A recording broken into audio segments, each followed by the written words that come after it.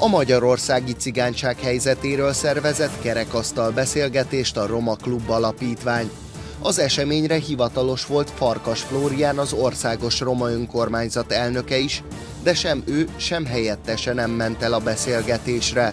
Sajtóinformációk szerint Farkas Flórián és Hegedűs István távolmaradása összefügghet a Bajer Zsolt írása körül kirobbant botránnyal. A Fidesz szövetségeseként mindketten attól féltek, hogy kellemetlen kérdéseket kaphatnak, ezért léptek vissza. Posztoly Kanáknes a vendégem, jó estét kívánok! Jó estét kívánok! És semmi magyarázat, miért nem megyünk el előre meghirdetett programra, tehát nem is érkezett. Elnök nem jön, helyettes jön, helyettes se jön, nem jön senki. Ennyiben maradtak? Hát állítólag az volt, hogy, hogy először is Farkas Flórián elfogadta a meghívást, majd néhány nappal ezelőtt lemondta, és azt mondta, hogy a helyettese jön, és ma reggel állítólag a helyettese is lemondta.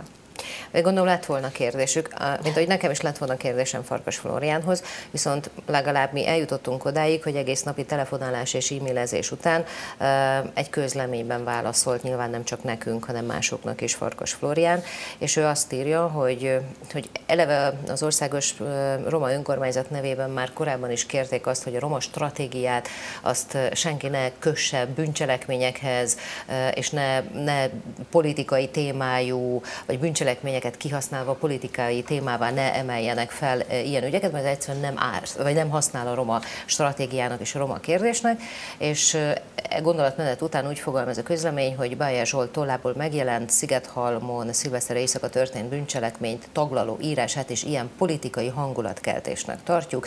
Ezúton kíván jobbulást a, a sportolónak az önkormányzat, és Bájer Zsolt írása kapcsán Farkas Flórián megbeszélésre kérte fel Stefka István főszerkesztőt és Bájer Zsoltot, és ez pénteken lesz. Úgyhogy leülnek megbeszélni. Ez fejlemény? Hát minden esetre legalább valamit, valamit tesz. Én azért 2010 óta sokszor hallottam, és voltam szem és fültanúja annak, ahogyan ő, ő csendben maradt.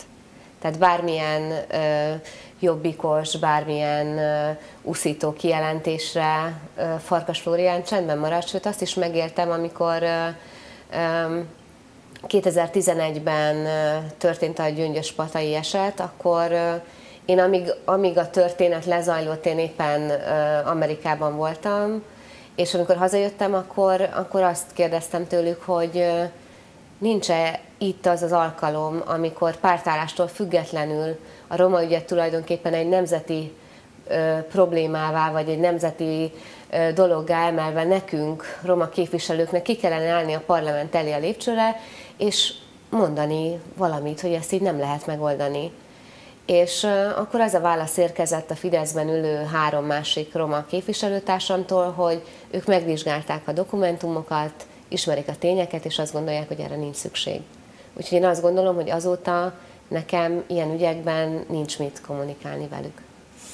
Uh, lehet, hogy én vagyok egy kicsit, sőt biztos magasabb hőmérsékleten üzemelő ember, de hogy elképzeltem, hogy országos roma önkormányzat elnökeként egy ilyen írást, ha elolvasok, akkor utána tehát tudnék-e higgadtan kezdeményezni egy találkozót, hogy ez szombaton megjelent, jövő hét pénteken, akkor üljünk le, és akkor beszéljünk erről. Mit lehet erről beszélni? Hát ez egy jó kérdés, hogy, hogy amikor valaki egy közös, közösséget ilyen szavakkal méltat, hogy mi állatok vagyunk, akkor én azt gondolom, hogy egy ilyen emberrel nincs miről beszélni. Legalábbis én azt gondolom magamról, hogy nekem nincs miről beszélni vele. Én se vagyok egy éppen nyugodt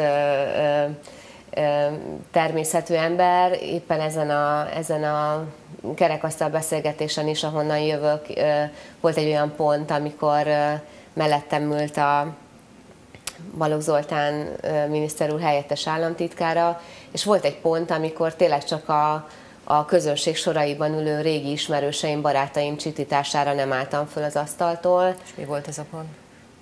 Hát ez az oktatás kérdésében a szegregáció kérdése merült fel, és a mellettem ülő helyettes államtitkár asszony azt mondta, hogy a, az, hogy a Nyíregyházán a Huszártelepen a gyerekeket szegregáltan ö, tanítják, 24 cigány gyerek van az iskolában, ö, de az nekik, mármint a gyerekeknek is, és a szülőknek is jó, úgy jó.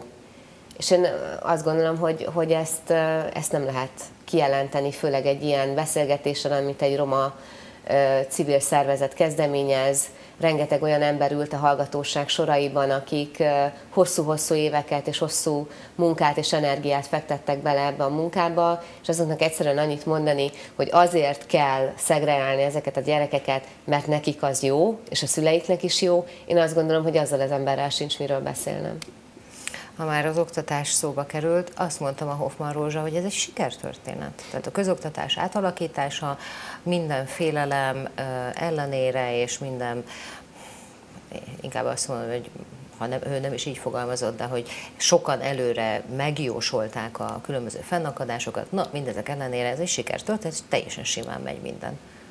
Hát ha ő hat nap után ítéletet tud mondani, ugye január 7, bocsánat, január 1 és ugye ma 8-a van, tehát hogyha 7 nap után ő meg tudja ítélni így egy országos átalakításnak az eredményét, akkor én, én mindig is felnéztem az ő merészségére, de azután még inkább fel tudok nézni. Én azt gondolom, hogy nem, nem lehet hét nap után egy rendszer ja, működéséről vagy van, működéséről. kréta van, ebéd odaért, még van, takarítanak. Még van, de mondjuk mi van akkor, hogyha ha hirtelen az összes ablak betörik mondjuk a, a Szent László téri iskolában, akkor, akkor hogyan tudnak majd olyan gyorsan intézkedni, akkor majd... majd hát csak van kőbányán egy üveges.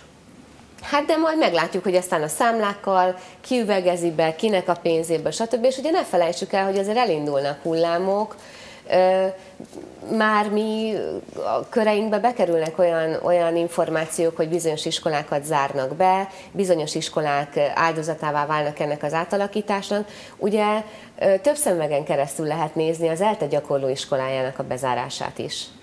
Mert ugye joggal mondhatja azt, hogy hát, hogy, hogy ugye én azt mondtam, hogy igen, ez az átalakításoknak és a forráskivonásoknak az eredménye. Ugye már, hogyha megnézi a, a közleményt, amit a minisztérium adott ki, ők egy az egyben ráhárítják a, fel, a felelősséget a 12. kerületi önkormányzatra és az egyetemre. Hát igen, szemüveg az sok van, sokféle van. Köszönöm szépen, hogy itt volt.